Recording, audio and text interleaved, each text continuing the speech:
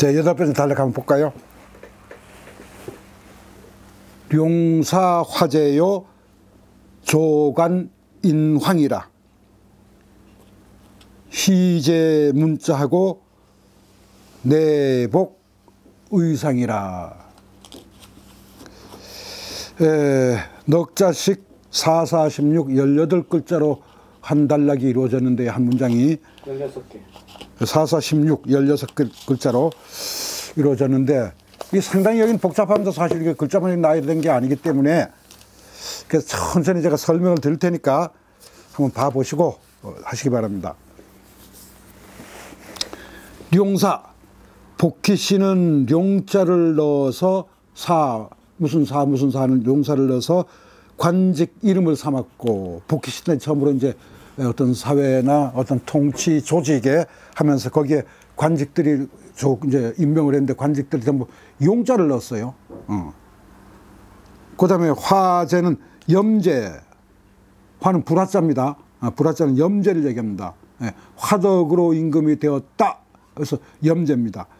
염제는 염제 신동 씨는 화자를 넣어서 또 관직 이름을 삼았어요. 그다음에 소호 씨는 소금천 씨는 조자 세조자를 넣어서 관직 이름을 삼았어요. 응.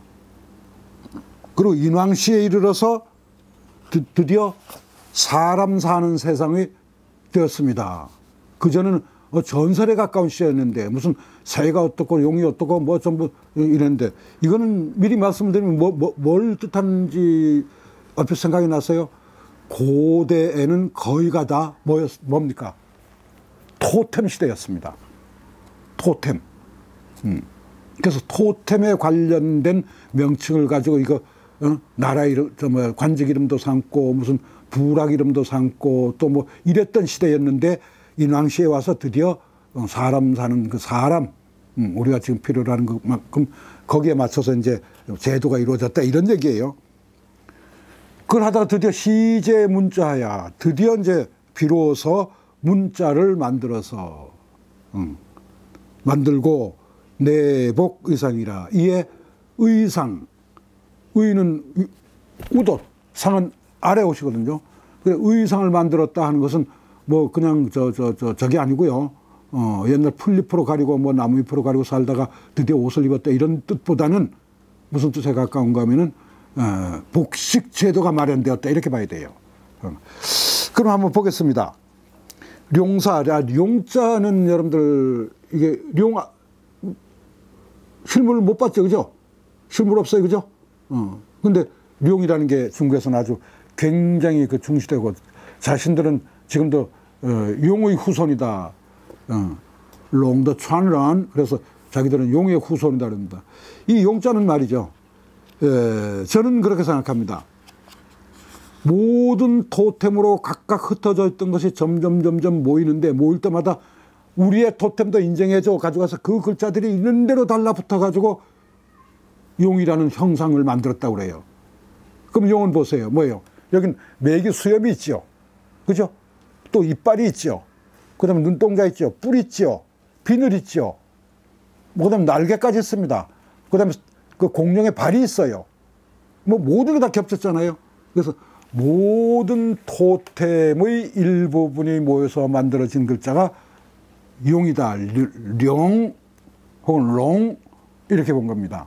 그래서 중국의 과거 아주 옛날 부락 어, 그런 사회에 있을 때 각자의 토템이 있었는데 지금도 좀 토템들 많이 있습니다. 음, 저 운남 여러분들 그 나시적 보면 자기들은 개구리에서 왔다.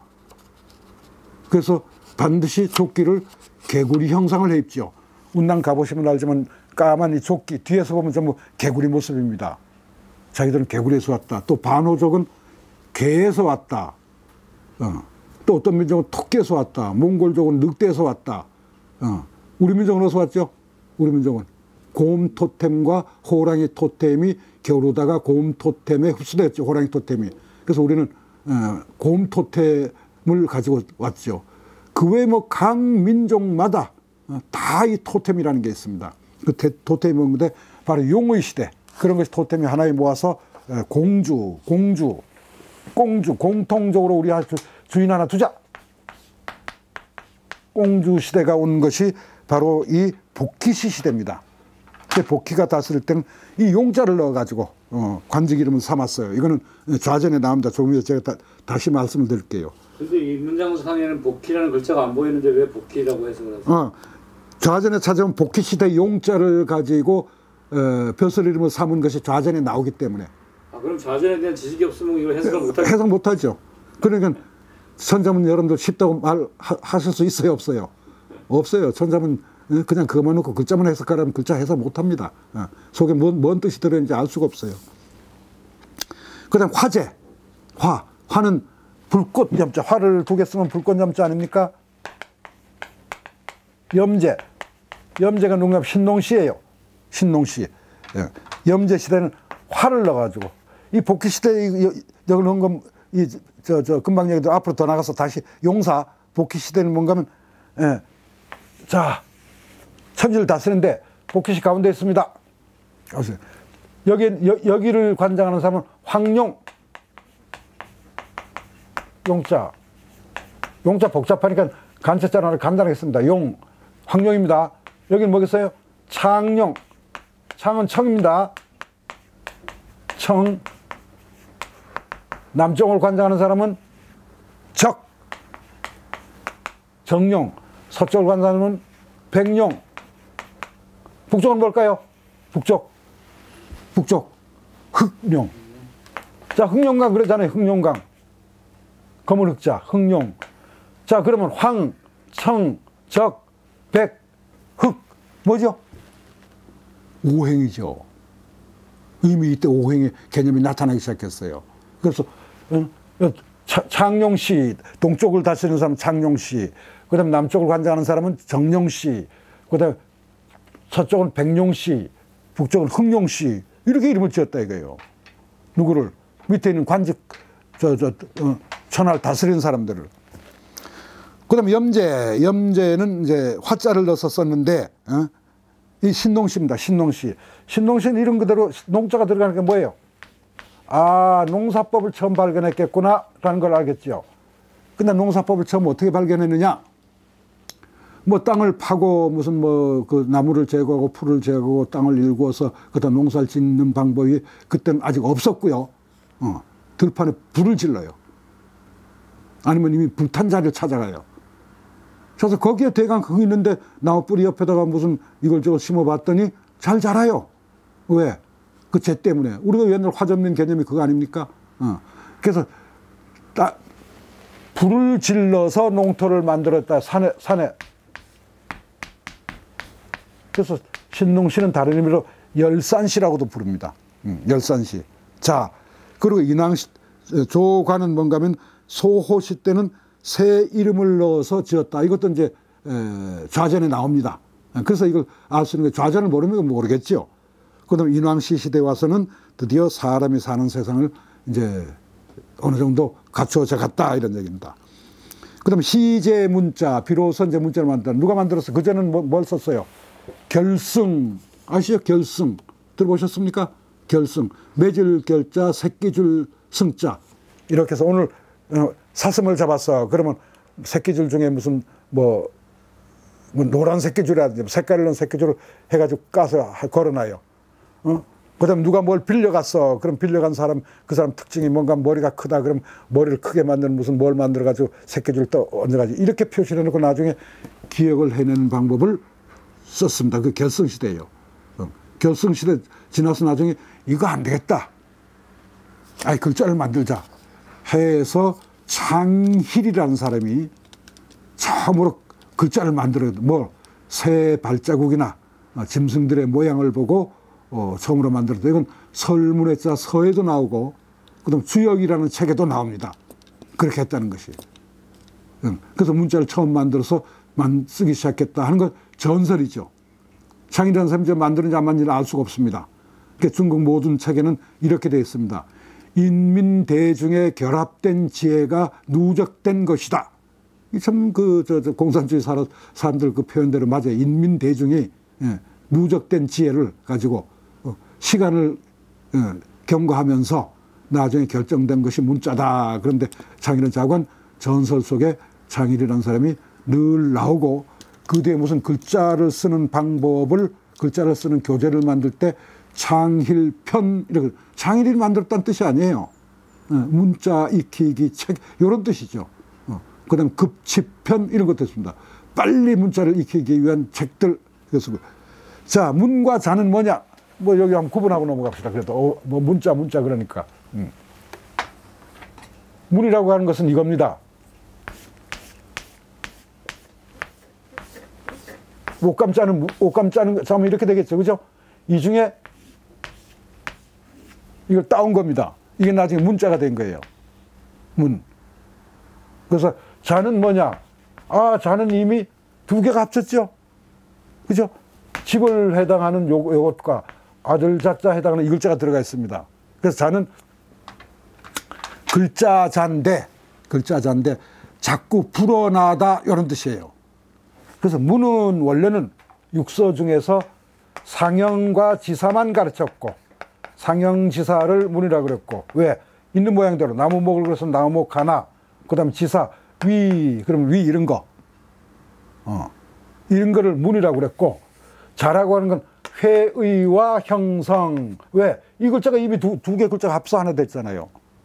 회의와 형성자를 자라고 그랬습니다. 그럼 육서 중에 상형지사 회의 형성은 다 됐죠 그 외 전주가차는 문자를 만드는 개념이 아니고 문자를 쓰는 게 활용하는 운용하는 개념이에요.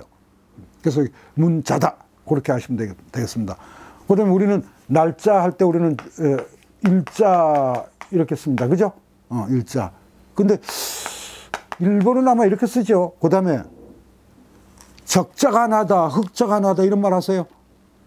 어, 회사에서 잘해서 적자가 나다. 그럼 적자가 나다. 이 글자 씁니다. 어. 흑자가 나다. 이렇게 씁니다.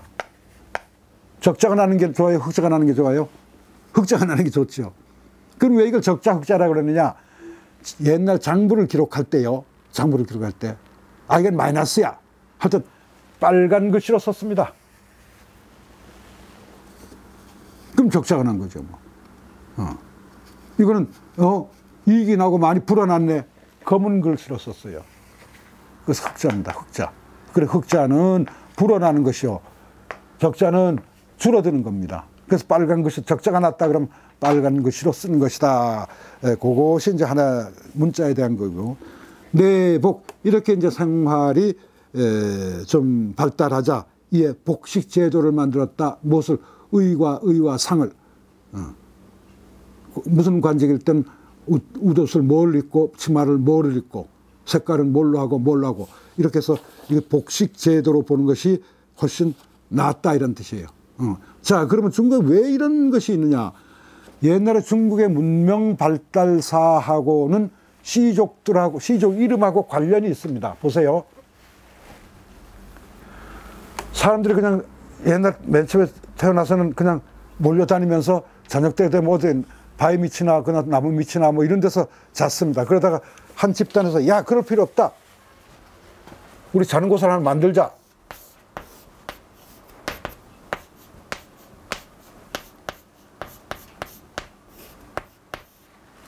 나무 나무 위에다가 나무를 얽어 가지고 야 여기서 자니까 편안해 짐승도 우리한테 안 덤비고 그런 집단이 있었습니다. 씨는 집단이라는 말이에요. 집단. 사람들이 몰려다니는 집단. 유소씨라고 그랬습니다. 유소씨. 잠은 이제 이런 나무에다가 대강 올가지고 거기 여러분들 그 저 침팬지나 이런 거 밤에 잘 때 나무 꺾어다 자는 거 봤잖아요. 그런 단계가 있었습니다. 자, 그러다 한참 내려가다가 또, 야, 춥고 배고프고 또 음식도 익혀 먹었으면 좋겠다 그래서 드디어 뭐가 생겼느냐.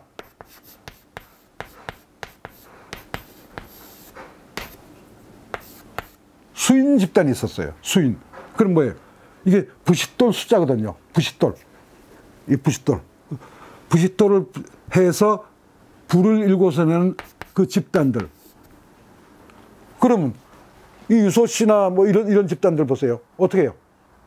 아무것도 이런 것도 못하던 집단이 어느 어느 날 자기들끼리 몰려가 봤더니 어느 동네 사람들은 그, 그 지역 사람들 어때요?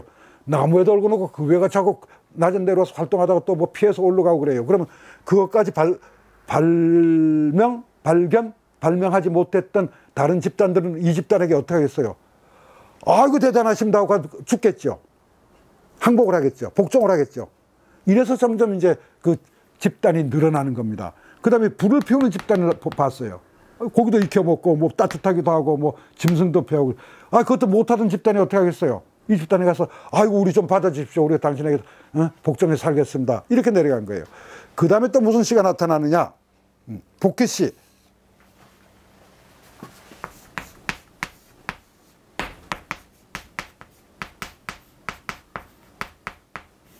복귀 집단 왔어요. 푸시라는데 푸시는 뭔가 하면은 짐 옛날에는 사냥을 하러 죽으라고 다니다가 아, 아 그날 두 마리를 잡았어 산채로. 그러면은 그 다 못 먹어요. 그 한 마리 어떻게 하겠습니까? 한 마리 가져놨다가 내 필요할 때 꺼내다가 어떻게 주방에 가서 도살장에 가서 잡아먹겠죠. 이 부시는 원래 부엌이란 뜻입니다. 부엌 요리하는 부엌. 어. 부엌에 고기를 갖다가 여서 어? 끊고 자르고 조리하고 하는 데를 복귀시예요. 어. 그럼 가둬놨던 것을 그렇게 잡아먹으니까 아 매일 한꺼번에 사냥을 많이 하고 나서는 그 다음에 사냥을 안 해도 먹고 사네. 이 복귀시 집단입니다. 이때부터 문명이 시작된다고 봤어요. 복귀 집단 이게 이제 여기입니다. 복귀. 어. 그 다음에 지나니까 이렇게 살다 보니까 작년에 먹다가 잠깐 무슨 그 벼이삭이 좀 떨어졌는데 그 다음에 벼이삭이 나요. 그래서 뭘 발견했습니다. 아 이거 봄에 심으면 가을에 이거 열매가 맺히는구나 알았어요. 그게 뭐예요? 신농씨죠. 신농씨.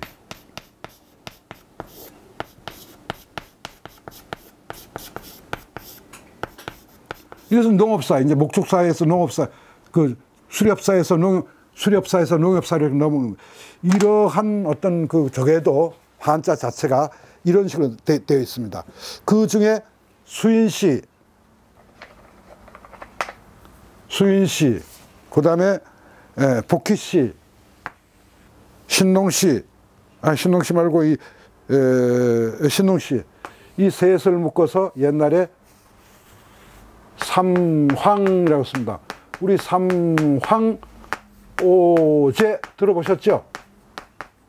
삼황. 근데 이 사망은 이 셋만 가르치는 게 아니고 책마다 사망이 누구누구냐가 다 다릅니다. 그래서 사마천이 사기를 쓸 때 사망 본기는 쓰지 않았어요. 왜? 난 모르겠다 사망이 누군지. 그때 어, 무슨 일인지 뭐 구체성도 없고 구체적으로 전해오는 것도 없고 사람들 말마다 전부 다 다르고 왜?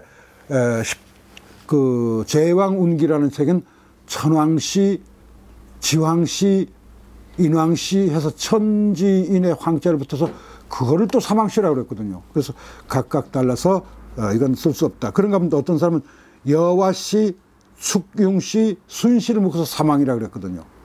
그래서 이게 고 상고 시대에는 문명 발달에 의해서 그 시족 이름이 정해졌고 그 시족 이름에 의해서 어, 문명 발, 문명이 어떻게 발달한지 알았으며 그 중에 셋을 묶어서 삼황이라고 그랬고 뒤에 오제는 예, 분명히 있습니다. 누구누구를 오제라고 그러느냐 어, 또 구체성이 좀 있습니다. 그래서 예, 사마천이 사기를 쓸 때 제일 첫머리가 오제 본기였던 것입니다. 자, 그럼 아까 한번 그걸 한번 다시 한번 보고 넘어갔습니다.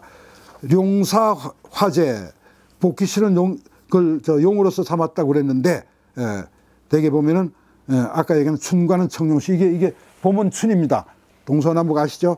춘과는 예, 춘과는 어, 정룡시 하는 여름이니까 정룡시 그다음에 백은 가을이니까 백룡시 그다음에 겨울은 흑룡시 중앙관직은 황룡시 아까 오행의 말씀을 드렸습니다. 좌전 소공 17년에 그 얘기가 자세하게 나옵니다. 네, 그 다음에 염제는 화제는 수인시, 수인시라고 봤는데 처음으로 부싯돌과 나무를 비벼 불을 얻을 수 있는 방법을 발명하여 어, 익혀 먹을 뿐 아니고 그 다음에 불을 떼서 여러 가지 도움을 받는 그런 이건 한비자 오두편에 나옵니다. 사만봉기에도 나오고 좌전에도 염제는 화로서 불화자로서 기틀을 삼아서 화를 가지고 관직 이름을 삼았다 이렇게 되어 있습니다. 어. 그 다음에 인왕시 시대에 와서는 어, 소호 씨가 어, 소호 씨는 어, 새 이름을 가지고 관직 이름을 삼았는데 이렇게 삼았다는 건 아까 토템이라고 생각하시면 됩니다.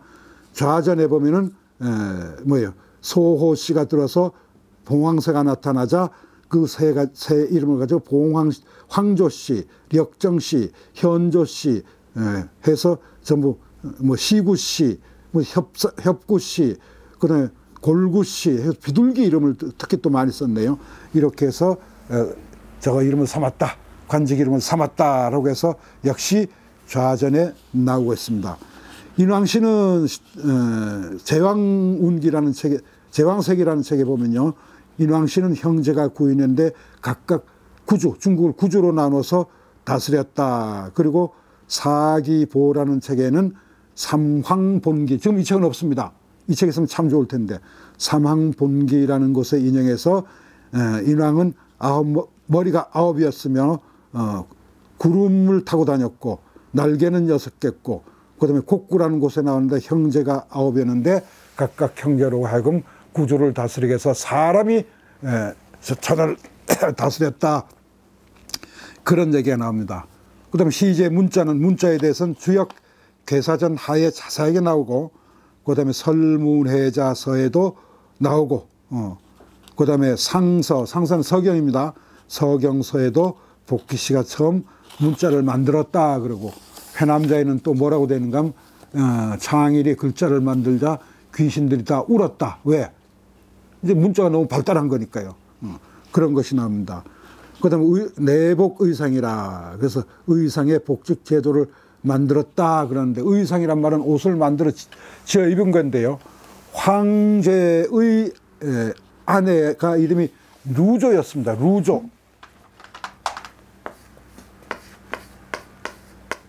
황제의 아내입니다. 루조. 황제의 아내가 어느 날 밖에 나갔다가 뽕나무에 에, 누에가 어, 먹고 자라던 나중에 고치를 만들어 매달리는 걸 봤어요. 그래서 누자가 아 저 고치를 풀어다가 뭐야 못쓸 데가 쓸 수가 없을까 해서 그래서 고쳐 살살 풀었다 풀려요. 자 모든 가는 실은 꼬면은 아주 강해져요. 아시죠 여러분들? 어. 실이고 뭐고 다 가는 것은 꼬면 아주 강해집니다. 꼬아서 이걸 가로 세로로 짜면은 뭐가 되지 않을까 해서 처음으로 양잠 기술을 발명했다고 그래요. 이건 오제 본기에도 나옵니다. 음. 그래서 옷을 처음 해 입은 것도 되고 또 그 옷을 가지고 복식 기술을 복식 그 제도를 만들었다라는 것도 됩니다. 자 여기서 한번 읽어볼까요? 그럼 여기는 뭐예요? 좌전, 회남자, 사기, 뭐, 어? 뭐저 사망 본기, 뭐, 뭐, 뭐, 뭐, 한비자, 무슨 모든 걸 다 알지 않으면 이거, 이거 이해가 안 되네요. 그죠? 어렵죠? 어. 자, 그러나 금방 말씀드린 대로 어, 복귀 시대는 뭐하고 소호 시대는 뭐하고 옛날 그 시대에 이제 했던 걸 알고 계시면 될 겁니다. 한번 읽어볼까요? 룡사화제요. 조관인황이라. 시제 문자하고 내복 의상이라. 인류 문명 발달사를 아주 압축해서 어, 16글자로 설명한 것인데 예, 송 내용을 아셔야만 이해되는 그런 문장이었습니다. 한번 써볼까요, 그럼? 자, 좋습니다.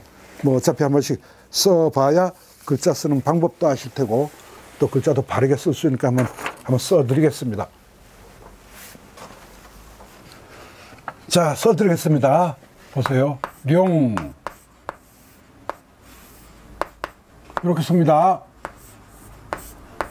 이렇게 하시고, 하나, 둘, 셋, 령.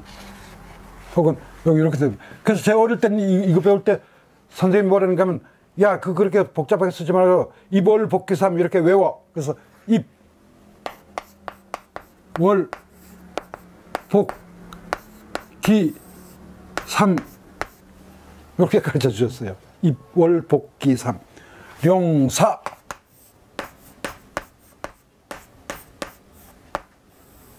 용사 그 다음에 화재 용사 어, 화재요 불화자 화재 임금제 이렇게. 그 다음에 용사 화재요. 어, 조관 인왕이라. 조. 쓰시고. 하고. 하나, 둘, 셋, 넷. 응. 조관. 관직은, 응. 어, 조관. 그 다음에 인황이라. 사람 있자. 인. 황. 임, 임금 황자. 됐죠? 소관 인왕이라. 그 다음에 시제 문자하고 시 비로소 자 요거 쓸 땐 옆에 뭘 쓸 땐 요걸 가늘게 쓰세요. 이렇게 쓰지 말고 이렇게 두께 쓰면 두께 쓰면 옆에 써서 이 조형미가 안 맞잖아요. 그죠? 시 여기다가 시 됐죠? 제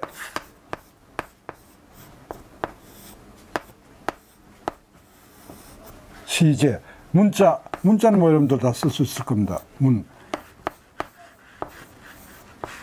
자 됐습니다. 그 다음 시제 문자고 내복 의상이라 내 복 쓰고 하나 둘 셋 이렇게 의 오드이자 상 상은 위에는 음이 있습니다. 음 상 그죠? 여기다가 오디자를 밑에다 쓰시면 됩니다. 그래서 이렇게 아 요건 상과 옷, 옷이 합쳤구나 하고 이런 결구 관계를 이해하시면 되겠습니다. 이렇게 차분차분히 하면 쓰시되 늘 말씀드리지만 어, 빨리 쓰지 말고 천천히 그다음 쓰면서 획수에 따라서는 잠깐 쉬었다 그 액을 쓰고 하는 이런 필기 방법을 활용하시면은 아주 어, 글자 익히는데 많은 도움이 될 것입니다. 예, 여기까지입니다. 감사합니다.